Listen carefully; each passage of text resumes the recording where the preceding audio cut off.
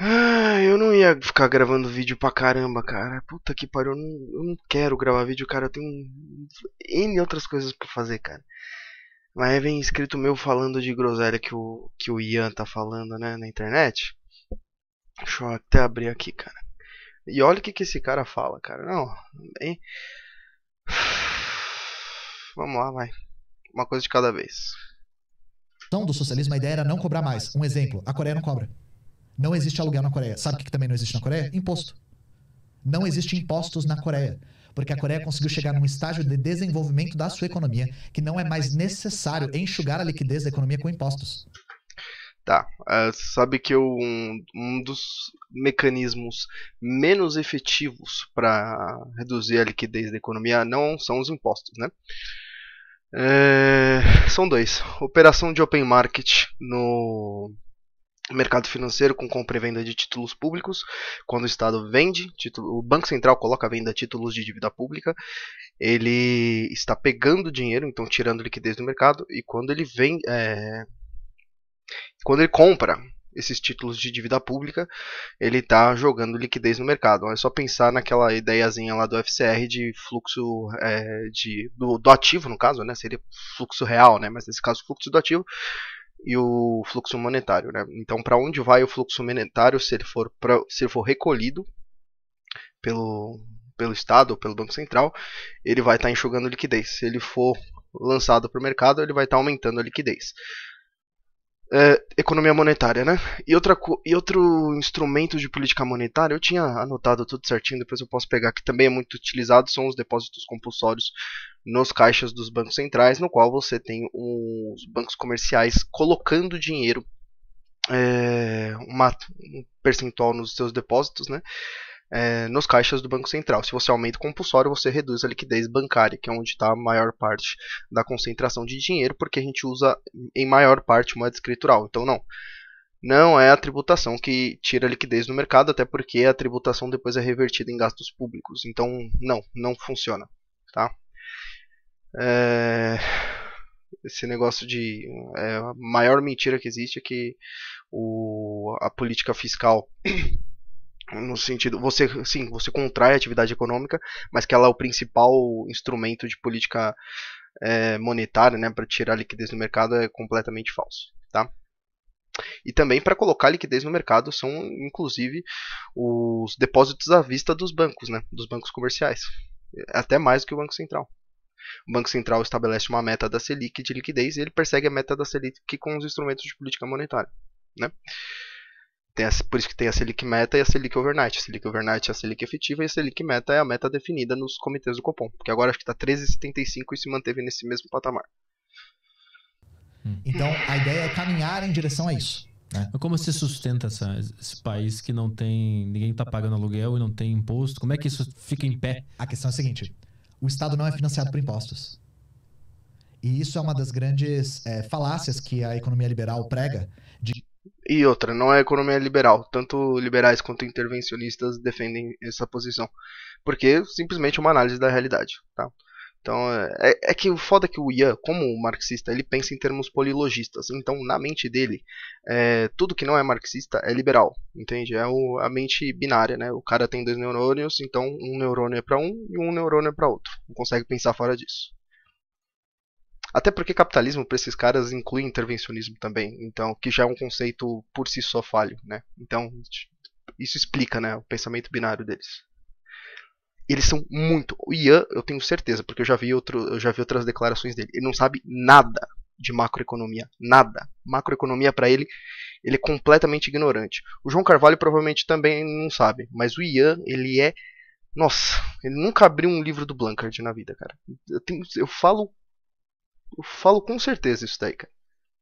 De que nossos impostos financiam o Estado. Isso não é verdade, tá?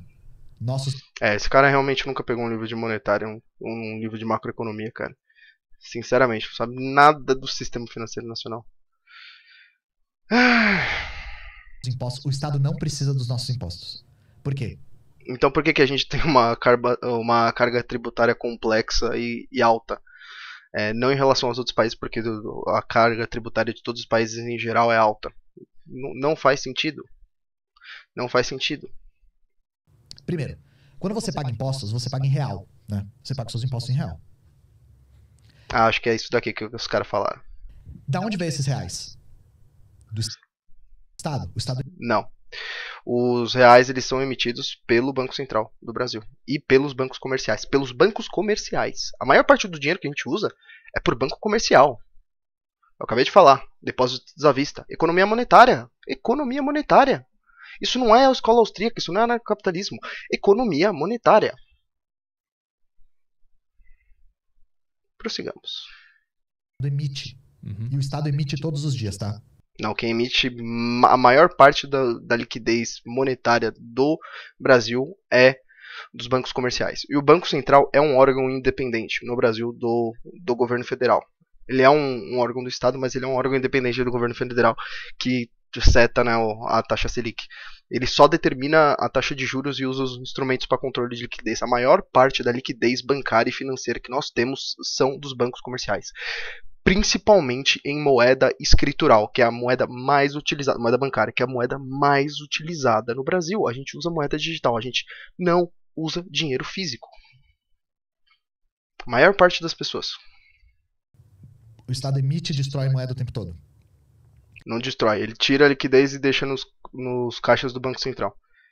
E não é o Estado, é o Banco Central e principalmente os bancos comerciais, que não é o Estado, cara. Meu Deus, cara, que ignorância de economia, cara. De macroeconomia e economia monetária, cara. Tipo, isso daí é consenso entre keynesiano, desenvolvimentista, tudo, cara. Esses caras eles vivem em outro planeta. Vivem em outro planeta, cara. Eles não sabem nada de economia. É impressionante, cara. A condição sine qua non do cara ser esquerdista, principalmente o cara ser. Porque ele pode ser um esquerdista da ma- macroeconomia. Tipo Ciro Gomes, esses caras. MMT e afins. Mas, cara, o marxista, cara, médio do Brasil. Não tô falando do Eleutério Prado. O Eleutério Prado tá em faculdade de economia. O Eleutério Prado é inteligente pra caramba. Mas, cara, a condição desses caras é ser uns, uns completos ignorantes em matérias fundamentais de economia, cara. Matérias assim, que são fundamentadas nas políticas que são praticadas pelos bancos assim no Brasil e mundo afora, cara, do sistema financeiro nacional, cara. Isso é básico e é matéria que tem em concurso, cara, em concurso público, cara. O, o cara tá falando groselha disso. Você, você vê o nível desses caras, velho. E, e tem, os caras acham que esses caras são um gênio, cara. Pelo amor de Deus, cara. Falando que economia é liberal. Isso é consenso entre heterodoxo inflacionista, ortodoxo, que também é intervencionista em menor grau, ANCAP, não é ANCAP, ANCAP não, a maioria dos ANCAP da internet não sabe de economia, austríaco. Cara, olha o nível de ultra simplificação da realidade da ideologia, cara. A palpitagem que esse cara faz, cara. A maior parte, pasmem, a maior parte da emissão monetária nacional é de, vem de bancos comerciais. Bancos comerciais. Claro, o Banco Central coloca as regras tudo mais, o multiplicador bancário, o keynesiano, o... as reservas fracionárias, mas são os bancos comerciais, cara. Como assim, velho? Então, para que existam reais em circulação, para que você possa pagar os seus impostos em reais, o Estado tem que primeiro emitir esses reais. E mesmo que isso fosse correto, o que ele vai falar não se segue logicamente disso. Tá bom? Que, que já, me, já me falaram. Então, primeiro o Estado emite, depois ele cobra. Pega de volta É? depois. O Estado primeiro emite a moeda que ele, a, a moeda fiduciária, que é a moeda é, Aí o. Porra, coitado, o Petri não sabe de economia, ele ele acha que isso que ele tá falando é genial. que é a moeda baseada em confiança, né, no Estado, Aham. emite essa moeda A única coisa que ele falou certo até agora foi isso, que é moeda fiduciária baseada em confiança. Mas já errou porque não é no Estado, é no Banco Central, que é a autoridade monetária. Prossigamos. E para garantir que essa moeda esteja em circulação e seja aceita, um dos mecanismos é o próprio imposto. Por que, que você Não, é o curso legal forçado, não é o imposto. usa o real e não usa, sei lá, kwanzas, sabe? Não usa garrafas de água para pagar? Porque o Estado te cobra impostos em reais. Não, porque tem curso legal forçado. Curso legal forçado e imposto são coisas completamente diferentes, cara. Meu Deus, esse cara. Ian, você é um asno, cara. Você é um asno. Desculpa. Não é ad hominem, porque isso daqui é um comentário e é a conclusão do que a gente analisou até agora, cara. Você é um asno. Não é possível, cara. Não é possível. Se eu pegar isso daqui, pegar o meu pai, que é economista ortodoxo mainstream, e botar ele pra ouvir com, comigo, ele vai me dar razão. Ele vai falar: você é um animal. Puta que pariu. Você não usa outro padrão monetário, tipo divisa, moeda de outros, por causa do curso legal forçado. Não tem nada a ver com imposto o imposto é cobrado em reais porque o padrão monetário nacional é em reais e não o contrário. Eu sei que, né, dentro do materialismo ontológico marxista, que acha que a realidade sensorial é a única realidade que existe, vocês fazem várias inversões, mas isso daí é simplesmente burrice. É burrice. É burrice. Não tem outra palavra. Desculpa. Então ele força essa moeda a estar em circulação. Nossa, esse, esse cara é um é mecanismo. Uhum. Outra coisa. É, aí agora ele falou do curso legal forçado como uma identidade do, da tributação. Não é, não é, não é, não é. É, é ilógico pensar dessa forma. Coisa. O Estado cobra impostos para enxugar a liquidez da economia. De novo, não é o principal é, mecanismo de política monetária. Ele, o Estado prefere operações de open market, de open market a alterar a tributação. A carga tributária ela é complexa e tudo mais. Ela tributa muito mais consumo, é regressiva, até porque você ganha em quantidade, né? Porque a elasticidade tributária é menor nas camadas mais baixas da população, por isso que para ele é mais vantajoso tributar consumo. E a tributação de consumo, aliás, todo o código tributário, ele é fixo, tá? Ele tem as, é, ele pode reduzir alíquotas, mas não, a, não a estrutura tributária. Mas até aí o ponto do IA também se, é, poderia se manter. Né? Mas o Estado aumenta ou diminui impostos como políticas fiscais expansivas ou regressivas que têm o intuito de alterar a atividade econômica. A liquidez propriamente dita, se pensar unicamente na liquidez, esses mecanismos que eu citei, que visam atingir a meta da Selic, que primeiro você tem que ter a meta da Selic que é determinada pelo Banco Central, são perseguidas, às vezes até mesmo durante uma expansão fiscal, pelos instrumentos do Banco Central de controle de liquidez, que é independente. Você entende? É, é um nível de desconhecimento básico de economia monetária em vários níveis e fiscal também, macroeconomia, macroeconomia, mas principalmente economia monetária. Que é risível, cara. É risível. E aí tem, outra, tem outro problema, que é um problema lógico, que é o seguinte. É, a emissão monetária, mesmo que fosse o caso que fosse o Estado que emitisse moeda, não implica em propriedade monetária. Assim como você faz produtos para venda e você não pede eles de volta só porque você produziu aqueles produtos assim como você vende seu trabalho. Aí eu não vou entrar nessa nessa brisa aí da teoria do valor, porque eu, eu tenho que ficar me repetindo, repetindo argumento complexo e pegando a bibliografia, não sei o que.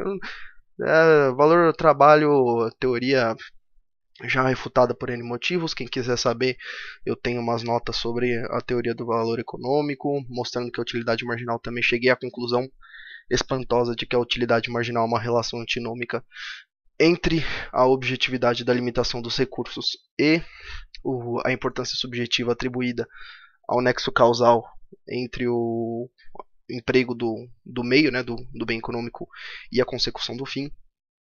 Então, essa parte, toda essa parte chata, não sei o que, você já tem umas anotações lá que eu fiz lá no Medium link aí na descrição do meu Medium. Procure é, sobre utilidade marginal do valor econômico. Acho que é isso. É, mas enfim, a emissão monetária, a oferta monetária não implica em propriedade monetária a partir do momento que essa é, liquidez é entregue. E segundo, que é pior ainda para o argumento dele, a maior parte da liquidez do sistema financeiro nacional é emitida por bancos comerciais. É emitida por bancos comerciais. Isso daí é consenso em macroeconomia, não é só liberal, não é só ortodoxo. Porque para ele, né, o marxista, é tudo que não é marxista é liberal, tudo que não é socialista é liberal. Né? Mas enfim. Cara. Para tirar moeda de circulação. Ah, desculpa, mano, vou meter 2x aqui, senão eu vou ficar até amanhã. Desculpa. Eu vou aumentar grada. Puta que pariu, velho. Ainda aparece o faz o L. Ó o L aqui, ó. Faz o L, faz o L. Chega, chega. Eu vou passar aqui essa propaganda aqui da Haddad. Não, o foda é o seguinte. É, eu não quero cortar o vídeo, mas esse cara mete propaganda num vídeo de um. Já. Vamos lá, vai. Eu tô tão perplexo, mano. Que eu sabia que ia vir merda, mas é muita merda, cara saúde da própria economia, para o cofre público. Não volta a destruir essa moeda quando ela é recolhida. Ah, destruída, né? Ela é recolhida, destruída, o Estado emite de novo. Porque dá ilusão quando a gente fala cofre, dá ilusão que quando a gente fala imposto, o Estado pega o dinheiro e guarda no baú. E quando ele precisa para financiar uma coisa, ele abre o baú e tira o dinheiro. Não é assim que funciona. O Estado tira a moeda da circulação e depois emite mais moeda. O Estado está emitindo e destruindo moeda o tempo todo. Porque normalmente, o Estado não é a sua casa. A economia da nossa casa é contabilizada desse jeito. Cara, ele não tem fonte nenhuma disso que ele tá falando, cara.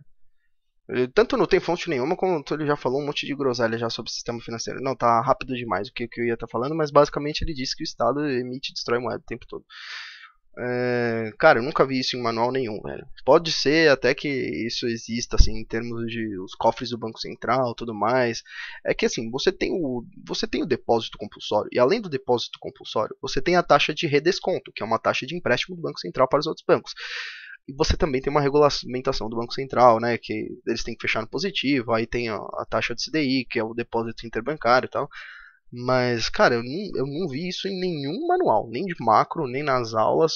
Eu realmente duvido muito que isso seja o caso. Posso estar errado, lógico. Né, nessa questão dele destruir moeda, mas, mas assim, eu não sei quais são as fontes dele. Eu acho que as fontes dele é o grupo marxista do Zap, cara. É realmente mesmo, cara. Realmente mesmo. Sabe? Tem aquele meme de marxista ser terraplanista econômico, mas assim, o Ian reforça muito essa tese, muito. Se a gente não tem a moeda lá, a gente não consegue pagar. A gente não consegue emitir. Mas se eu tivesse uma máquina de dinheiro, eu O Estado emite. O Estado pode emitir moeda. Ele tem a capacidade de emitir. E, inclusive. Não é o Estado, é o Banco Central. E tem o, a lei de austeridade fiscal também. O Banco Central não pode financiar a dívida pública. Ele pode fazer as operações de open market, mas ele não pode diretamente financiar a dívida pública. Essa coisa de que a expansão da moeda é algo ruim para a economia é uma coisa que não se verifica, porque. Tá errado também, porque os efeitos são bons só no curto prazo. Vejam a parte de teoria do capital. A própria dinâmica da expansão do capitalismo demanda uma moeda que consiga se expandir também. Expansão da moeda é imprimir dinheiro. É.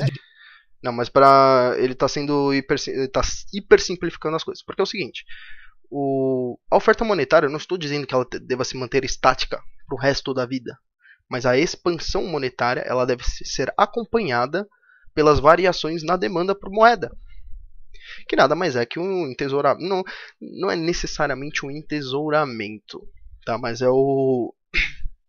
A poupança monetária, tipo, reter moeda, mas não indefinidamente, né? Que o próprio Marx chama isso, acho que, de acumulação demente, que é você segurar moeda sem reinvestir. Que ele fala que naquele modelo lá dele é, merca é mercadoria, dinheiro, mercadoria, moeda tem que circular para se replicar. Aí dentro do sistema financeiro você vai ter um aumento e acumulação do capital. A moeda vira capital, mas para a moeda virar capital ela tem que circular. E...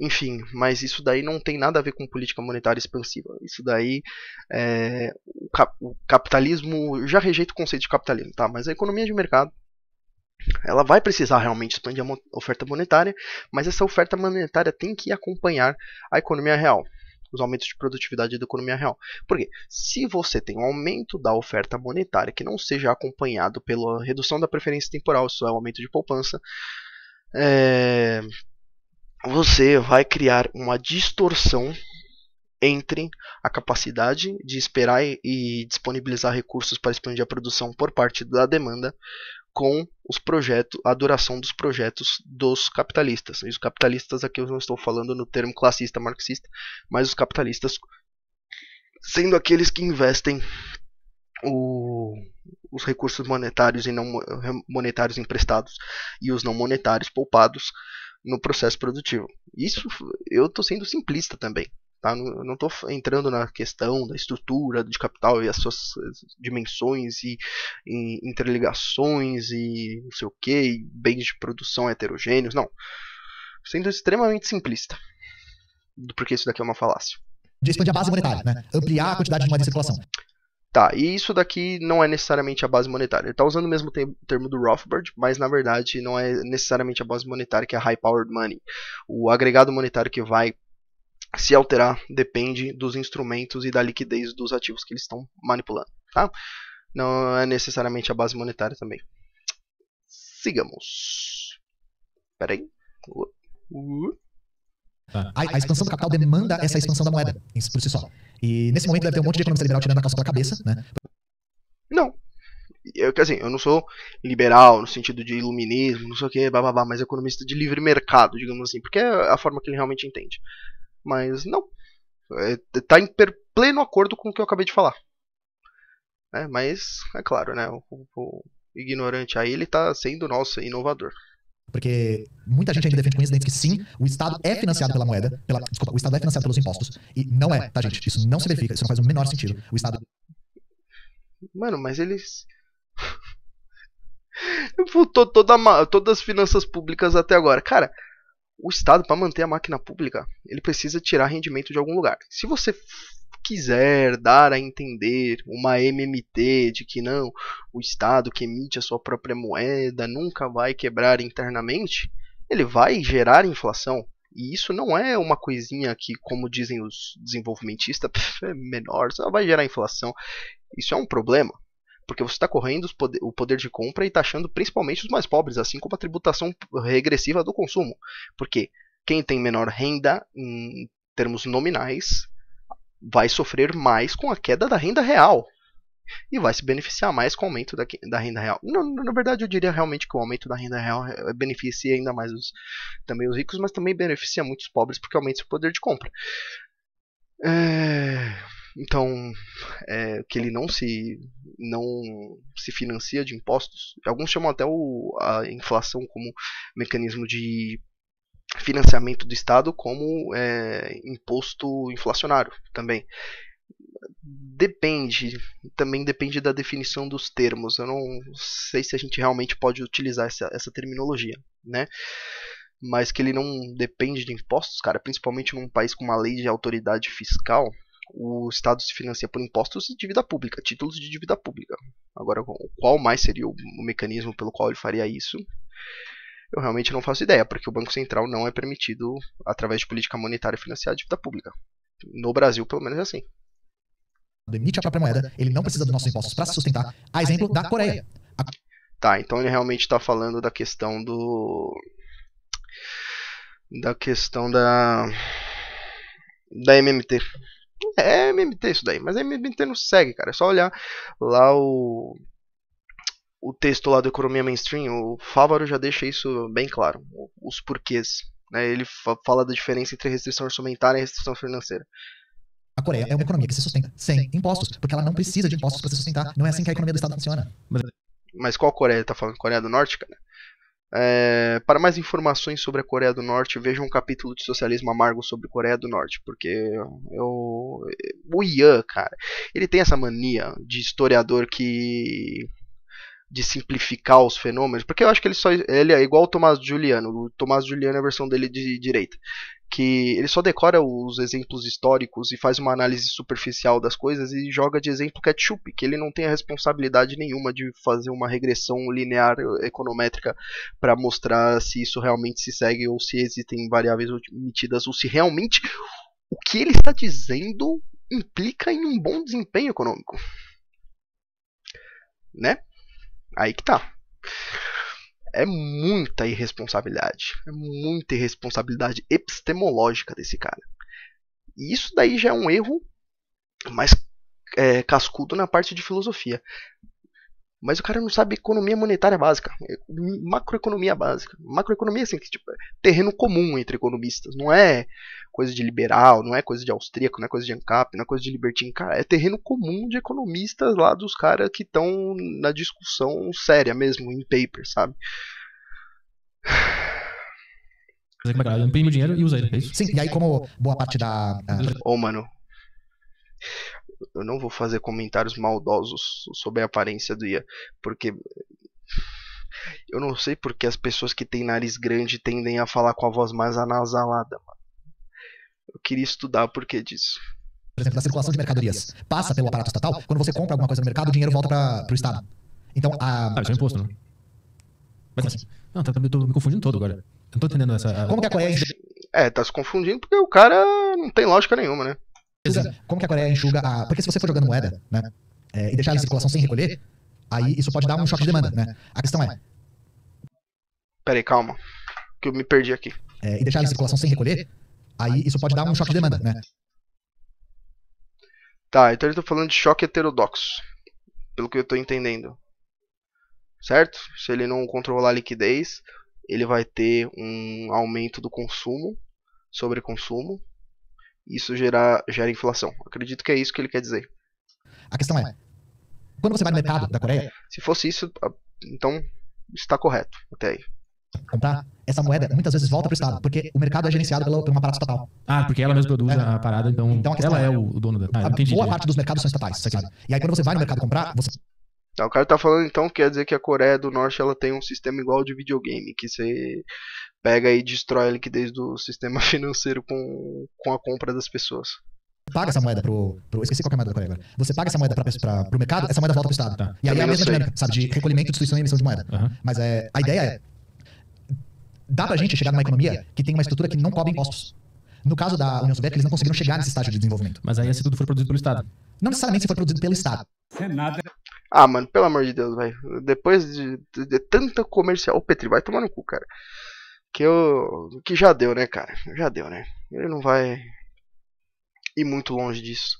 Cara, o Ian é foda, velho. Ian realmente tá de parabéns. Ele, o, ele com o- a totalidade dos livros da escola austríaca se resume a um manual ANCAP, é, que é a versão ANCAP do Manifesto Comunista, e o, e o outro que falou que leu tudo. E não, isso daqui, cara. Nossa, isso daqui é. Meu Deus do céu, cara. Meu Deus do céu, cara. Não só nunca pegou um livro de escola austríaca, no máximo o livretinho do Rothbard. Eu acho que eu tenho a Anatomia do Estado aqui, quer ver? Eu vou até fechar aqui a câmera para vocês verem a finura da Anatomia do Estado. Tá? Eu não vou ficar pegando os outros livros porque eu vou desmantelar todas as minhas. Como é que fala? A Anatomia do Estado não tá aqui, não, cara. Acho que eu coloquei ele em outro lugar. Mas eu vou pegar, tipo, vai, o Ente a Essência do Aquino aqui. Que é um. Que é um livro assim que. Também é fino, mas ele é muito mais profundo. Tipo, a anatomia do estado é dessa finura aqui. Mais ou menos, tá? Não é muito maior que isso, não. É, isso é tudo que o cara leu de escola austríaca, sa- sabe? De escola austríaca e, na moral, de economia. Aquilo não é nem um livro de economia, nem um livro de escola austríaca. É um livro sobre política do, do Rothbard. É, não é nem o principal livro dele sobre política, que tem o, o Ética da Liberdade, tem o Manifesto Libertário também. É, cara, tem um monte de calhamaço que eu tô, inclusive, olhando agora aqui da, escola austríaca, cara. Que, mano, esses caras com certeza não leram, cara. Mas é impressionante o nível de palpitagem do ser humano, cara. O nível que o ser humano pode chegar de palpitagem. Eu vou finalizar esse vídeo por aqui. É, eu já tô gastando muito tempo com esses caras. É, eu perco 5 pontos de QI a cada vez que o Ian abre a boca. Então se inscreva no canal, ativem o sino das notificações e vão ler livros e passar menos tempo ouvindo comunista de internet. Abraço.